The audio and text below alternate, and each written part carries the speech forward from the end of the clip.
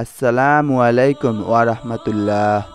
সুপ্রিয় ইসলামের পথের দর্শক মণ্ডলী, আশা করি মহান আল্লাহ রাব্বুল আলামিনের অশেষ মেহেরবানি ও দয়ায় আপনারা সবাই ভালো আছেন। শায়েখ হাতিম আল আসাম রাহমাতুল্লাহ আলাইহি একবার হজে যাবার ইচ্ছা পোষণ করেন। স্ত্রী ও সন্তানদের সামনে সেটা ব্যক্ত করলেন। স্ত্রী তাকে নিরুৎসাহিত করে বললেন, আপনি এখন হজে গেলে আমাদের কি হবে? আমরা চলবো কি করে? আপনি বরং এখন আপাতত এই চিন্তা বাদ দেন। যখন বাড়তি কিছু টাকা হবে, তখন যাবেন। তাদের দুজনের কথোপকথনের মাঝে উপস্থিত ছিলেন তাদেরই দশ বছর বয়সী বড় কন্যা। মেয়েটি সব শুনে তার বাবার উদ্দেশ্যে বলল, আব্বাজান, আপনি নিশ্চিন্তে হজে চলে যান। আল্লাহ তো আছেন, তিনি অবশ্যই আমাদের দেখবেন। মেয়ের কথা শুনে শায়েখ হাতিম আল আসাম যেন মনে সাহস পেলেন। এরপর তিনি দিনক্ষণ বুঝে হজের উদ্দেশ্যে রওনা করলেন। তার সপ্তাহ দুয়েক পরের কথা। ততদিনে শায়েখের রেখে যাওয়া পয়সা শেষ হয়ে যাওয়ায় গড়ে খাদ্যের সংকট দেখা দিল। শায়েকের স্ত্রী ও তার অন্যান্য ছোট সন্তানেরা বড় মেয়েটাকে তাচ্ছিল্য করে বলছিল, এখন আমাদের কি হবে?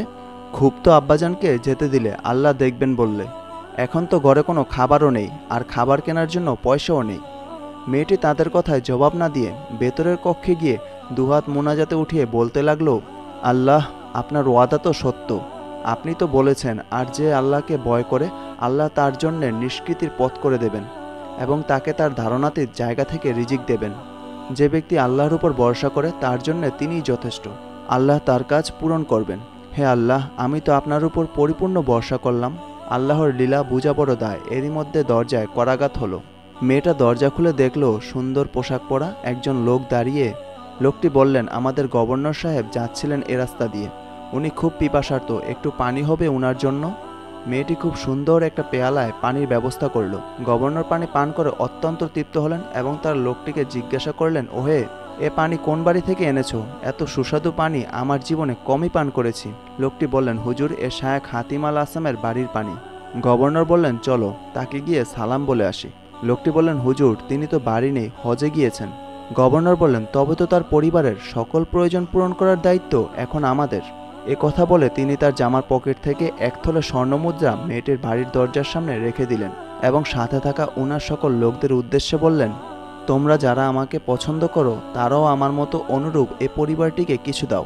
এ কথা শোনার সাথে সাথে সেখানে উপস্থিত সকল ব্যক্তি তাদের পকেটে রাখা সব স্বর্ণমুদ্রাগুলো দরজার সামনে জমা করে প্রস্থান করলেন।